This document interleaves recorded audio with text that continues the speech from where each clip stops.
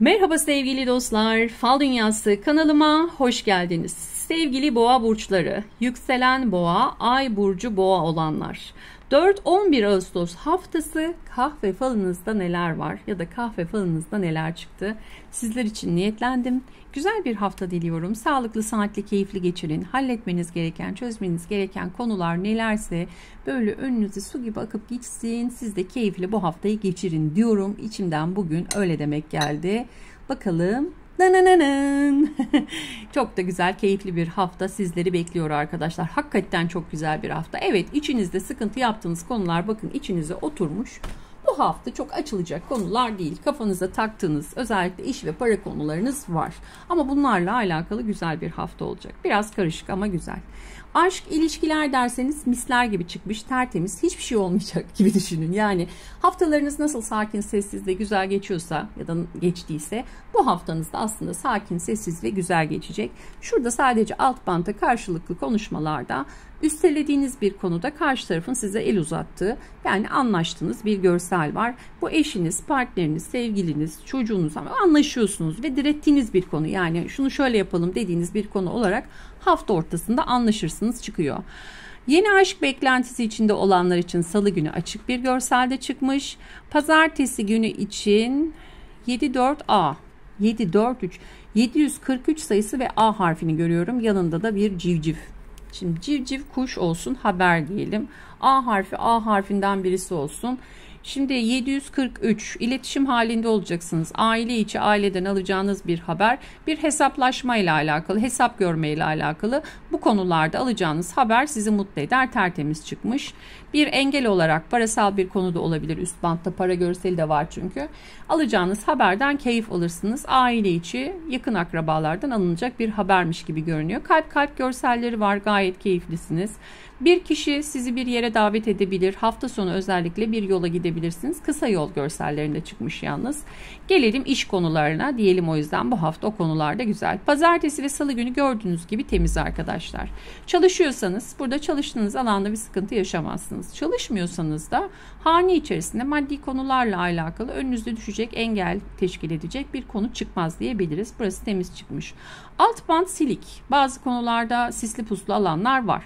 Yani ama bunları kafanıza takacağınız günler değil diyelim. Çünkü burada aslında alt banttan bir başlıyor. Çarşamba, perşembe ve cuma günü diyebileceğimiz alanlar maddi kaynaklarla alakalı gördüğünüz gibi biraz karışık arkadaşlar.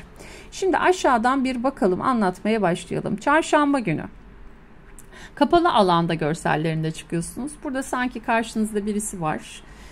E, bu kişiyle onun kafasına takılan ve uzattığı konuları konuşup bir çözüm bulmaya çalışacaksınız. Ufak tefek tartışmalara açık birisi yalnız. Yani aslında tartışarak doğru yolu bulmak adına adımlar atacağınız bir gün.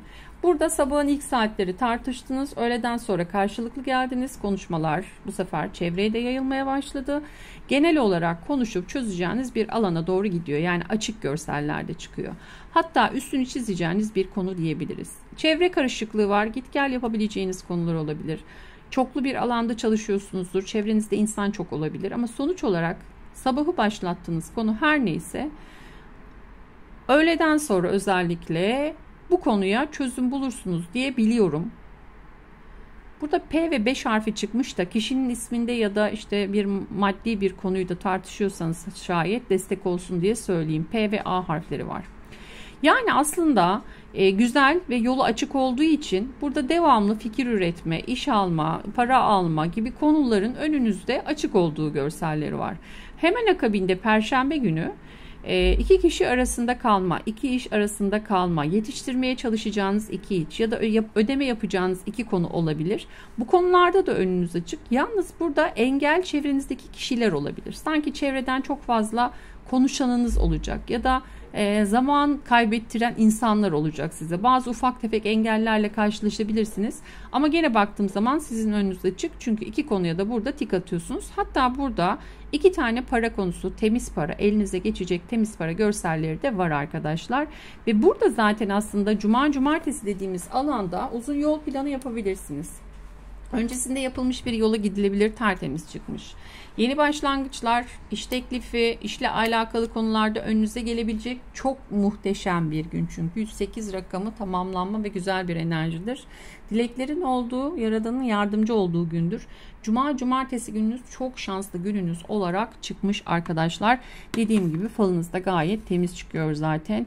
Hani ben olabilecek. Şimdi ben buraya da bakın şöyle yapıyorum ya. Aha da arkadaşlar bu. Haftanız daha da böyle işte. Şimdi buradan bir şey çıkar mı?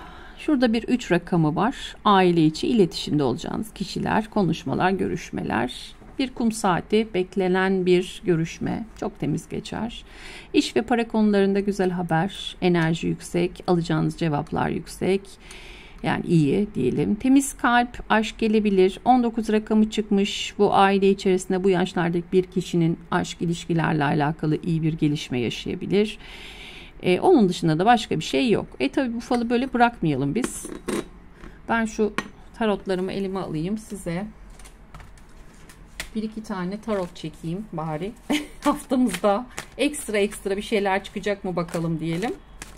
Hatta şöyle diyelim. iki kart iş ve para için çekelim. İki kart da e, aşk ve ilişkiler için çekelim. Önce aşk ve ilişkiler için çekelim. Birinci kartımız bu arkadaşlar. Bırakıp gitmeniz gereken, emek verip de uğraştığınız bir ilişki. Burada bırakıp gitme isteğiniz var. İyiye güzele gider miyim diyorsunuz ama çok iyiye güzele gitmezsiniz. iki kere düşünün.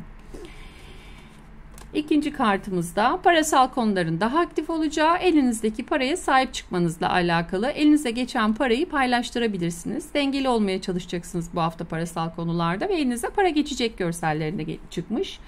E, bu ama ilişkilerde olduğu için de ilişkilerde verici bir yapıyı da ifade eder. Yani sevgi, aşk ilişkilerde siz bir veren tarafsınız. Sizden beklentide olan insanlar olacak demek oluyor. Sadece insanlar olarak da değerlendirmemek lazım. İlişkinizde de verici bir hafta, verici bir haftadasınız ne demek değil mi? Karşı tarafı mutlu edersiniz. Karşı tarafta size gayet ılımlı davranır. Siz de bunun karşılığını verirsiniz gibi düşünebilirsiniz.